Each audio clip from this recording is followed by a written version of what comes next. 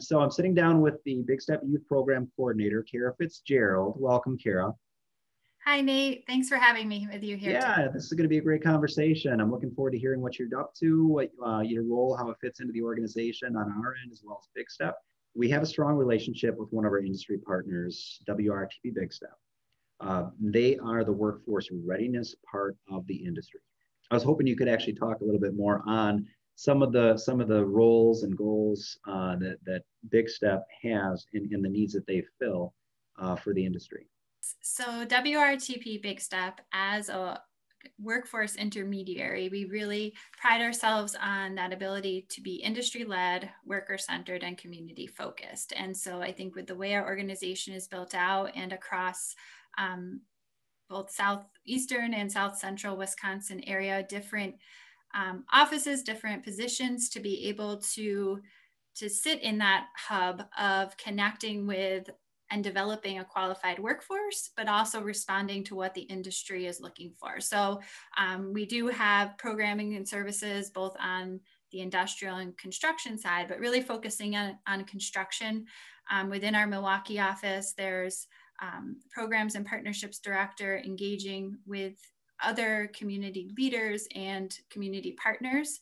Um, we have programs supporting both adults and youth who um, perhaps are interested in building a skill set to work towards a skilled trades um, career pathway. So, Big Step we recognize as being an investment uh, on behalf of the industry. What are some of the program offerings that they have?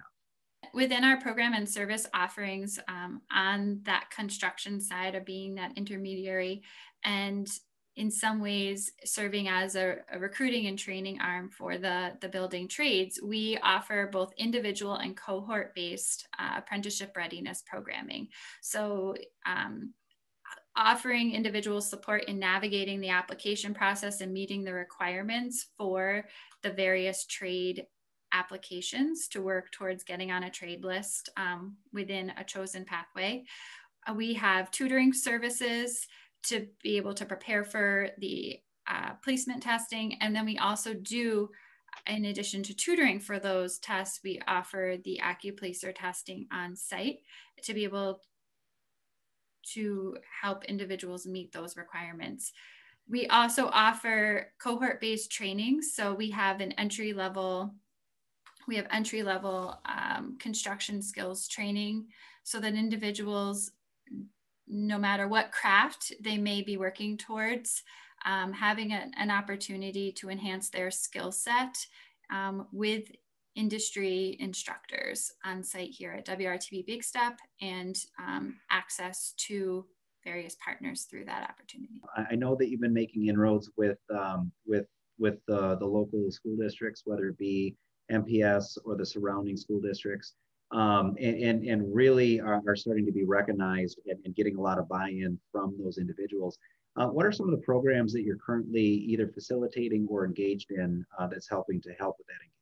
One focus for this early part of this year is to continue to do uh, outreach presentations with specific groups. So that has been happening at both a student level and at a staff level. So recently connecting with uh, counselors, school counselors, transition coordinators, and other school staff to better understand the process and how WRTP Big Step and Building Advantage uh, work within the industry and how a student that they are working with may take first steps to work towards an apprenticeship.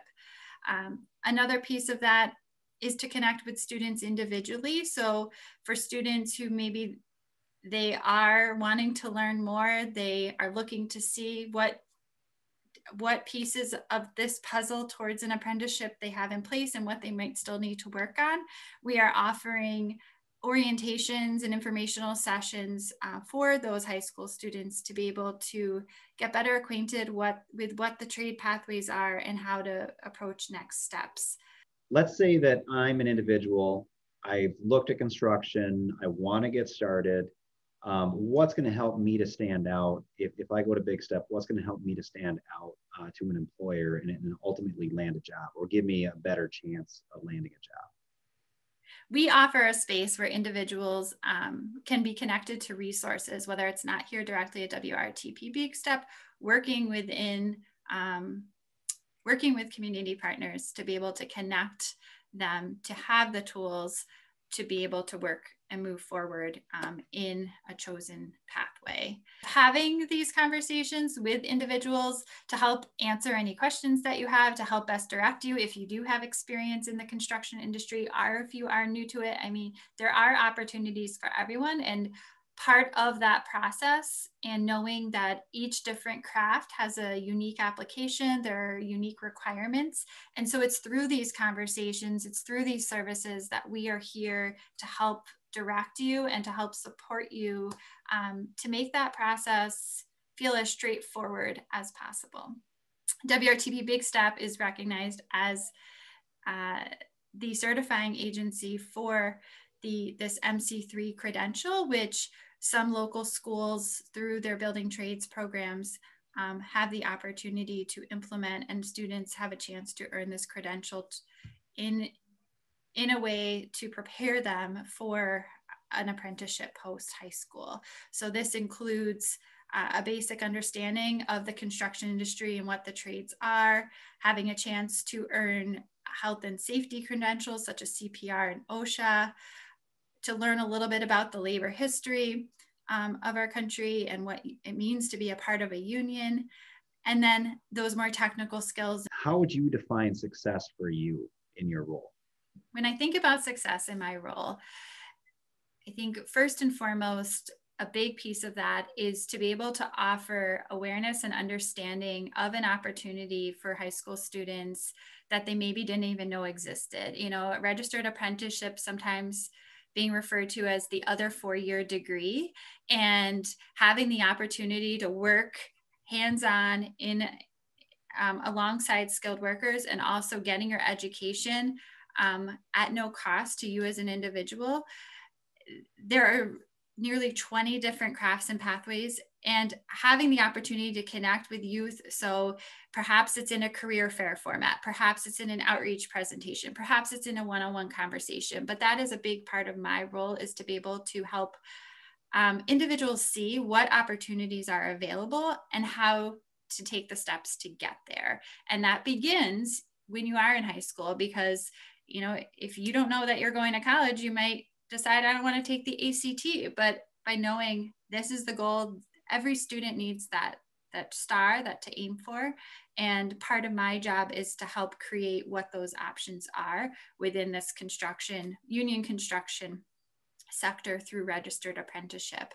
I think another piece of that is not only working with students directly, but with counselors and teachers um, to help to make sure that every stakeholder is you know within the industry and beyond the industry have a common language and know the steps that it takes to work towards an apprenticeship. So, with COVID, as I'm hearing, um, you uh, obviously weren't able to do a ton of in-person events or even a ton of uh, in-person engagement, not only with the with the students but also with with the counselors and the other champions within the schools. Uh, but you got creative uh, in being able to pull together um, industry segments that might have you know the same cluster of work that they're doing uh, via contractor as well as uh, through the trades can you speak more uh, just just briefly on uh, uh, those info sessions and, and kind of where the concept came from and, and what you accomplished with those?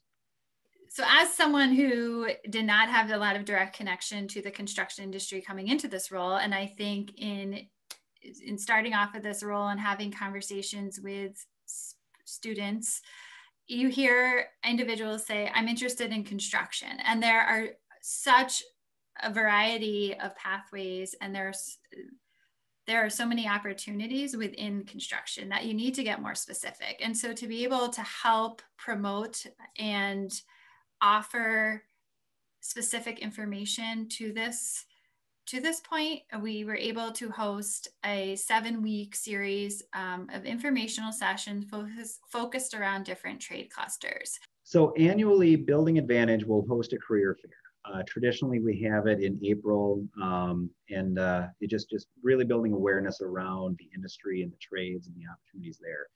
Unfortunately, this year uh, that got bumped uh, due to COVID, and we were planning on hosting a live or an in-person one in the fall, and we were actually going to tie it to National Apprenticeship Week, which is in November. Again, COVID wasn't; uh, it was still around, so so we had to think creatively And, and you were instrumental in really helping us to, to, to orchestrate um, something that could still be uh, engaging with the students um, and still logistically feasible. And uh, we were able to, from our end, apply some resources uh, to help execute that vision. Uh, but if you could just briefly uh, describe uh, what what what those offerings were the, the week of the, the career fair, um, a virtual career fair, you know, in lieu of an in-person career fair. So rather than having a one-time standalone event. So knowing that this in-person career fair wouldn't necessarily happen, but throughout National Apprenticeship Week and even beyond, um, wanting to offer a view into the construction career, specifically uh, union apprenticeship pathway, you know, within the within the industry, and creating a video series that would not necessarily be tied to a specific day and time, but for uh, teachers, counselors, um, and other individuals to be able to engage with the videos and have conversations around um, what opportunities are within within the construction career pathway. We were able to highlight the projects at these sites. We were able to capture from personal experiences of why being a part of a union is such an important part um, and connection to the work that individuals do as well as offer some perspective on what an apprenticeship is and what the career pathway looks like. So through those four videos, um, we did create an instructional guide for to help um, guide some conversation and students to be able to do a scavenger hunt as they watch those videos. And so again, this we launched this during National Apprenticeship Week, but it is here and continues to be here as an offering um, to get a glimpse into the work um, within construction happening right here in our backyard. If, if you're talking with uh, somebody who's interested in getting into the trades, where would you advise that they start?